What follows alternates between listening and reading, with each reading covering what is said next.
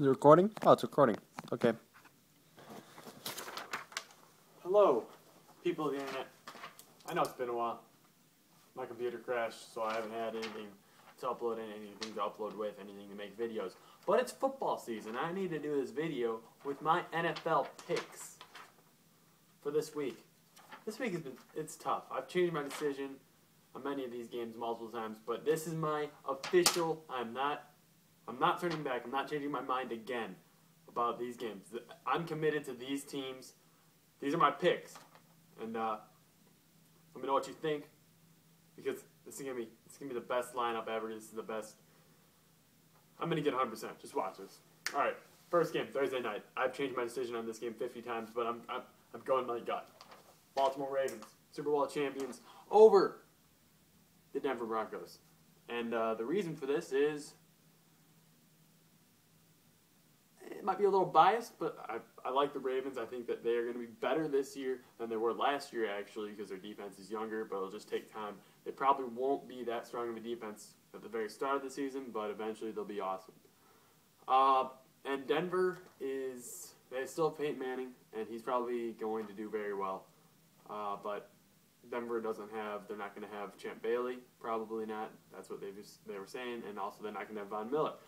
So their defense isn't to be very strong. Um, the Ravens, if Flacco Flacco plays well in big games, so I'm I'm putting my faith in Flacco in this one. So let's go Baltimore. My so that, that's my first pick. The rest of these won't be as long, but that's that was the one that I just couldn't make up my mind. Baltimore for sure. Patriots versus Buffalo, no question. Patriots. I hope Buffalo wins, but Patriots. Bears versus Bengals. This one took me a while to decide on. Wait, why do I have Bears circled? Okay, I, I chose the Bengals because Jay Cutler can't do anything. The Bears defense might overpower the Bengals. I have no faith in Dalton, but hopefully the Bengals win. But I, I just don't believe in the Bears, or do I believe in the Bengals? So I guess we'll see. Browns versus Miami. I believe the Browns will be a lot better this year, but not for this game. I think Miami is a good team. They were a pretty good team last year, and they've improved, I believe. So I'm picking Miami. So another tough one: Lions versus Vikings. This one I've switched. I've switched my mind a lot of times. At first, I was going with the Vikings. I was like, yeah, let's. I think the Vikings will do it. Adrian Peterson. Then I thought about the Lions, Matthew Stafford, Calvin Johnson. The Vikings don't necessarily have a great secondary. They have a good pass rush, but then I switched my mind to the Lions, but I'm switching it back to the Vikings, going with my gut again with the Vikings, something to cheer for. So, Lions did great in preseason. Then again, a friend of mine told me that the year that the Lions went 0-16, they actually had a 4-0 preseason too. So, you can't really judge preseason. But then again, they, they beasted the Patriots and they beasted uh, somebody else. So, we'll see. Colts versus Raiders, no question, Colts. Saints versus Falcons. I'm going Saints because they're at home and the Saints are have Sean Payton and they'll be back to who they were when they won the Super Bowl. Basically, I think they're going to be just a, a, great team. Drew Brees is I hate him, but well, I hate him because that one One Direction music or the one commercial. But um, I think Saints will win it. Uh, Falcons are good, but it's at home. Saints, I believe, I think the Saints are going to be great. So Saints winning that. Buccaneers versus Jets, no question.